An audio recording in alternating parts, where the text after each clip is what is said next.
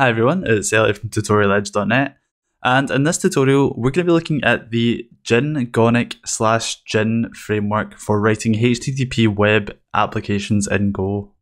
Now the Gin framework is immensely popular and it's gained over 20,000 stars on GitHub and I'll leave a link to where you can see that in the description below. And as always, if you find this tutorial useful at all, then please leave a like and subscribe to my channel for more programming content. I'm currently pushing for 5,000 subscribers, so every subscriber counts. Okay, so let's get into the code. So I've opened up Visual Studio Code here, which is my editor of choice. Now I've created a really simple main.go file, which simply prints out hello world. And we can test that this all works by calling go run source main.go. Nice and simple. Now we're also going to be using Go modules in this tutorial, and I know this is a new feature that's just been released, in version 1.11 of the language. Now, in order to initialize this project, we'll have to do go mod init, like so. And that creates a new go mod file. Okay, so let's open up our main.go file and start programming. Now the first thing we're going to want to do is to import our Gin Gonic framework. So at the top, let's add a couple of parentheses, and we're going to do github.com slash gin dash gonic slash gin like so. And just below this, we're going to want to start using the framework. Now, just to get us up and running really quickly, um, we're going to use gin.default. Oops. And we're going to do a really simple dot get request or dot get endpoint. Now, this is just going to be for the root endpoint like so. Now, we want to define this by passing in the path and then an anonymous function which will take in the gin.context and it will return a JSON string with 200 status and gin.h and we're going to do message. And hello world like so Save that, and then just at the bottom, we're going to want to listen and serve this on port 8080 by calling r.run. Next we want to do is very quickly fix a wee typo here by adding a comma, and we want to run this by calling go run source slash main.go. Now this will go ahead and it will start up our Gin HTTP framework and it will listen on port 8080. Now if we shoot over to a browser and we hit localhost port 8080, you can see that the JSON returned when I hit this endpoint is message and hello world as expected. And if we have a look at the terminal output for our incredibly simple program, you can see that it gives us the date and the time that this request is made. You can see the HTTP status code that was returned, and we can see the amount of time that the request took to be served with. Now we can also see the path and we can see the verb used to hit our application. Now for what's effectively about 10 lines of code, that is an incredible amount of information given to us with very little additional work needed. Now that we've got a really simple example up and running, let's try and expand this further and actually create something that would look more like a production ready application.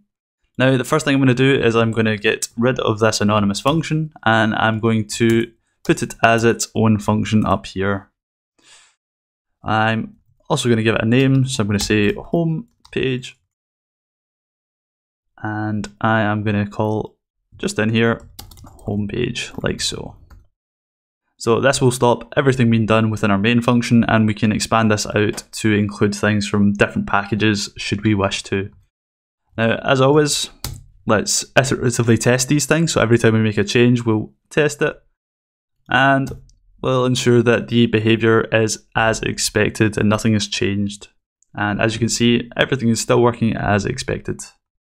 So we've got a really simple get-based endpoint exposed within our application, but typically in production level APIs, you'll see things exposed on all the various other HTTP verbs such as post, put, delete, patch, and so on. So let's now see how we can expand our example and add these various different endpoints into our application. Now the first one I'm going to do is a post endpoint. So I'm going to keep the same path and do r.post. And I'm going to create a new function and I'm going to call this post page or post homepage. And just up here above our main function, I'm going to do, I'm going to actually define this post homepage function. So again, it's going to take in this cgin context. And I'm going to return JSON as well. So JSON 200 gin.h and I'm going to change the message up just a little bit. So post homepage like so. Add the trailing comma and save that. And let's try restarting our application. So go run source main.go again. And everything has started as expected. Now, in order to test our new post-based endpoint, I'm going to open up a program called Postman. And again, I'll be leaving a link to where you can get this in the description below. Now, Postman is essentially a REST client that is incredibly popular with web developers and programmers all across the world. So it's something that I feel that it would be very worthwhile getting to know. Now, as you can see, I've entered the localhost port 8080 URL into my input form, and I've specified that I'm going to hit this with a get verb. Now, when I hit this request, you can see that the message returned is our standard hello world one, which is exactly the same as we saw in the browser. Now if I change this verb to post and I hit the same request, you can see that the message returned is our newly added post homepage response, which was defined within our post homepage function like so. And as you can see within our terminal output, we now have three different requests. Um, so one was the original get request, and the last one, which we just sent there, was our post request. Now, so far we've been successful in creating a really simple API that features a router and exposes both a get and a post endpoint within that API. Now, you could do the same for all of the other HTTP verbs, such as put, um, delete, patch, head, and or options. And again, you would just specify the function that you wished to route that particular API request towards. So that just about covers the basics. Now, let's try and expand this further and try and do some more complex things such as query strings, path parameters, and trying to retrieve the body of any post requests, which are very typical tasks that you would have to do within most APIs. So let's first of all try and look at how we, we would handle query strings within our REST API. So to do that, I'm going to create a new endpoint that's going to be accessible over the get HTTP verb. And I'm going to call this query. Now I'm going to create a new function called query strings. And effectively what this is going to do is it's going to take in any slash query requests and it's going to parse query strings which look something like this. So name equals Elliot and age equals 24. Now I'll then be able to take these from our path or query and I'll be able to then use these to manipulate any responses sent back from that particular endpoint. So just above our main function, we're going to define this query strings function now. Again, this is going to take in the pointer to the gin.context. And just in here, we're going to do the following. So name equals c.query and just name so this will take in any sort of name equal Elliot. Uh, and then we're going to do age equals c dot query and age like so. And finally, I'm going to return a response object. So just within here, I'm going to do the following. So instead of returning a message, I'm going to want to return um, the name and I'm going to want to return age.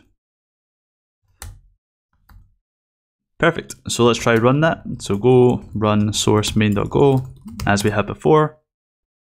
And let's open up Postman once again and add query and then our query string parameters. So name equals Elliot and age equals 24 like so. I'm now going to send this and as you can see the JSON returned is exactly what we expected. So it's been able to parse both the name and the age from my query string here. Now, if this was a more fully fledged API, it would probably go off to insert them into the database or do some form of data manipulation with whatever query strings were passed. But for now, this just shows you how to really simply parse those query string values. So let's now have a look at how you would do path parameters as opposed to query string parameters. Now let's come back into our program and we're going to define a new endpoint. And again, it's going to be the similar format to our query string parameters. But with this, we're going to expect the following. So slash path, and instead of having the query string, we're going to say, okay, I want the name here and the age here. Now to do that, we're going to want to do the following. So change this to path, and then we're going to specify colon name and colon age like so. And because we can't use this same function, we're going to call this to path parameters. Copy this and let's create that function now. So func path parameters, again taking in the pointer to the gin.context. And then we want to do the following. So name, and this is going to be equal to c.param, name, and age is going to be again equal to c.param age. So this is incredibly similar to our query strings, except that instead of using c.query, it's using c.param.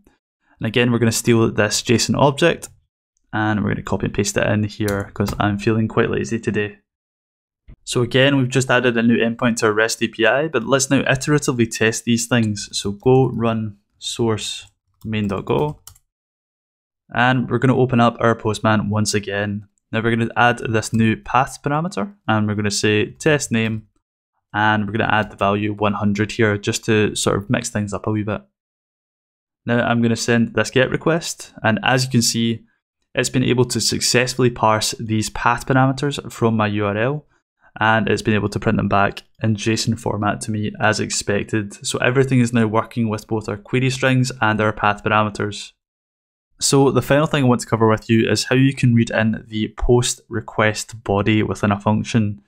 Now we're going to modify our existing post endpoint so that it can read in any test value or any value we pass in through the body of our request in Postman.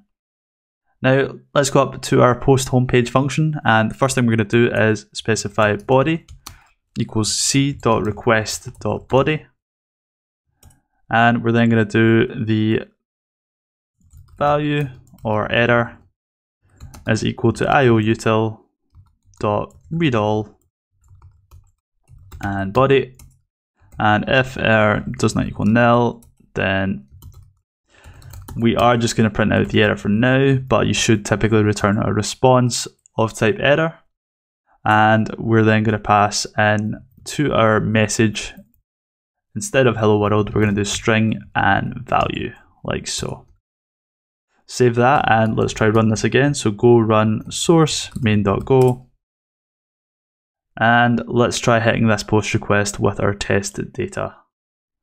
So as you can see, test or hello world both successfully respond respond with the JSON that we would have expected, which is the message and the value of our post body.